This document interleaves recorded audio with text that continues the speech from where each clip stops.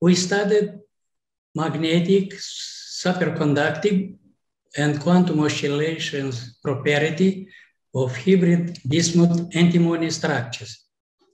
Sample for measurement consists of bulk single crystalline disoriented blocks, crystallite, and one or more nano-width interfaces with a pronounced degree of imperfections.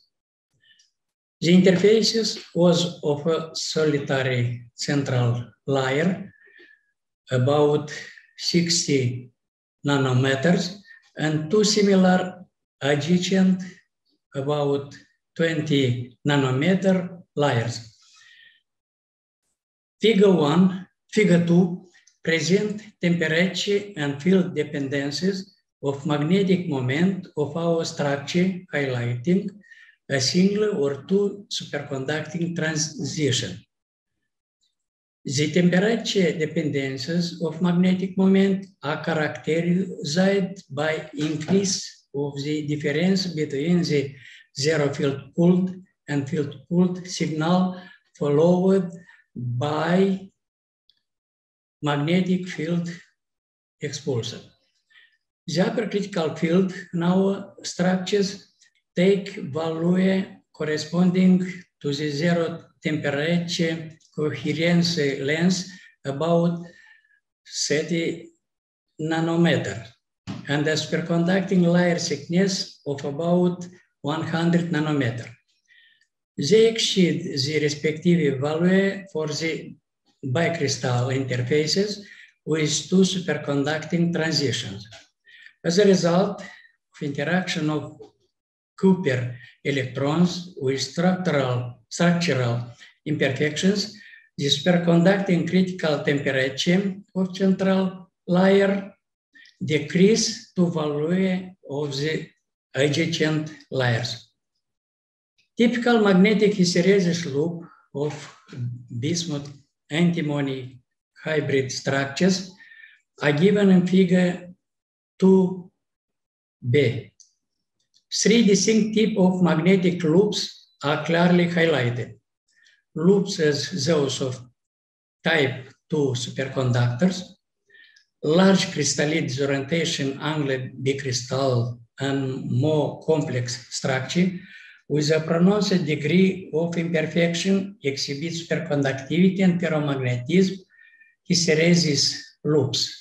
At the same time, a number of the bicrystal with a high content of imperfections and two superconducting transition exhibit the dual superimposed ferromagnetic and superconducting loops, which indicate the simultaneously coexistence of superconductivity and weak ferromagnetism at interfaces.